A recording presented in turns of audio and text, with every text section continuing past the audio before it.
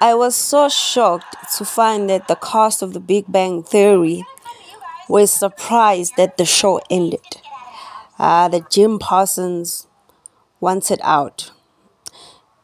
There are series that go far too long, and it just makes me wonder if the, the actors and the actresses get in touch with reality or they get so lost in the character that they cannot go back to their mundane lives. The Office USA should have shut down when Steve Carell, aka Michael Gary Scott, left. The show was so pathetically, embarrassingly boring that it's like something made out of an old age home. And and and not just any old age home like the fun centers like old age homes with with grannies who who have cats and don't get visitors you know and all they have is green jelly for dessert every night. It was so boring. And i always ask myself why would an actor or an actress stay in a boring ass product? And uh, the thing is steve didn't want to leave. They just didn't renew his contract and that was just like one of the dumbest um, decisions. But like, if you're an actor or an actress, don't you tell when what you're doing is like boring? It was so boring. I don't. I think it embarrassed them. It was embarrassing, and it was definitely a stain in their careers to stay that long. Mindy Kaling is the only one I think from The Office has gone to have fame.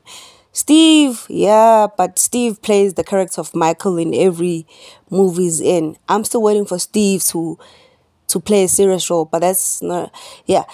The Big Bang Theory. When when the girls became uh, permanent fixtures, so Bennett Benedict, uh, the Howard's wife, and Amy. When those girls became a regular fixture on the show, it became boring. It was so boring. And and I think one of the, the things you could see, they should have been bored playing their characters this long. And, and one of the things that ended, and I understand why Jim, you could tell that Jim Parsons was gay. The gay, he couldn't hide the gay anymore. The gay was just, you know, filling out, pulling out, like seeping through the holes. Uh, I, you can just tell that the man is gay, even the way he stands or he eats. And I think they really put him in an uncomfortable position.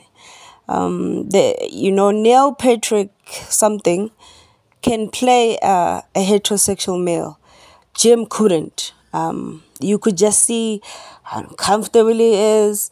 You know, there's a time where he's going to the sea thing for Thanksgiving, an ocean themed restaurant, and he asked, Have you slept with all of them, with any of them? Like the gay, he couldn't contain the gay anymore. And I think it was wrong for him to be cast into that role. I think, I don't know, maybe if, if they made his love interest a, a man, maybe. But I could just see gay, gay, gay, gay, gay.